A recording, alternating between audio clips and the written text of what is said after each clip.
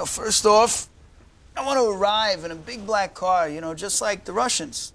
Uh, uh, limousines cost money. And number two, you know, I was on the front page of the LA Times today. Ticket sales are through the roof. Mm-hmm. A thousand people are paying five dollars a piece just to see me play. It's five thousand dollars. Mm.